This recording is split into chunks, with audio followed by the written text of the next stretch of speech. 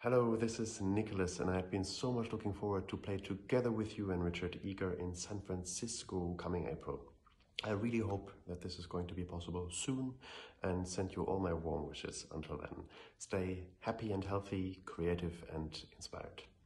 I recently discovered a small piece by Tobias Hume for Viola da Gamba and wanted to play it for you. It's called Tickle Me Quickly.